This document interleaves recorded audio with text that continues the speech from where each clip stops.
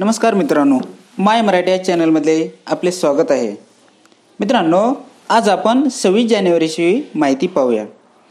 आपण भारतीय लोक हे सण उत्सव करण्यामध्ये नेहमी अग्रभागी असतो.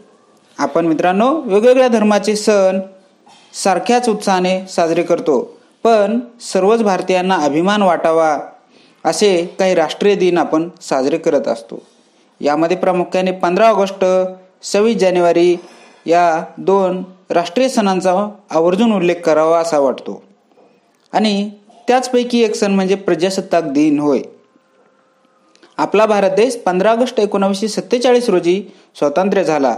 पण त्याची लोकशाही ही रा लोकशाहीची राज्यघटना सव्वीस जानेवारी एकोणावीसशे पन्नास रोजी अंमलात आली. म्हणून सव्वीस जानेवारी हा भारताचा प्रजासत्ताक दिन मानला जातो.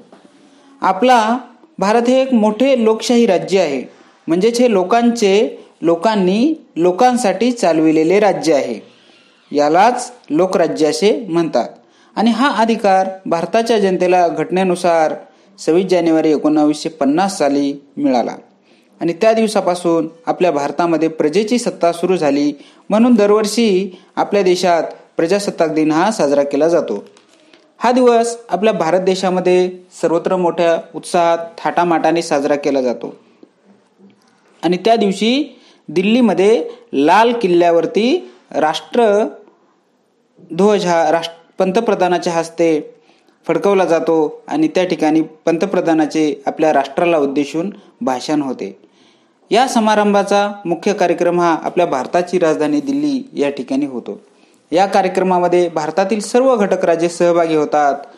आणि हा कार्यक्रम भारताच्या प्रत्येक राज्यातच नव्हे जिल्ह्यात तालुक्यात आणि गावागावातून हा कार्यक्रम साजरा केला जातो.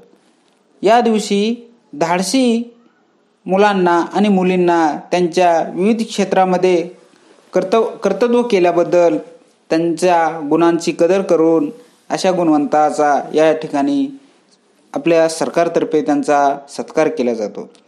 या दिवशी संपूर्ण देशभर आनंदाचे आणि उत्साहाचे वातावरण असते. या महत्त्वाच्या सणाच्या दिवशी देशासाठी लढणाऱ्या देशहितकारक कार्य करण्याची प्रतिज्ञा आपण केली पाहिजे. त्यामुळे प्रत्येकाच्या मनातील राष्ट्रीय भावना राष्ट्रप्रेम अधिक उजळून निघते. मित्रांनो हा व्हिडिओ आवडला लाईक करा शेअर करा सबस्क्राईब करा. धन्यवाद.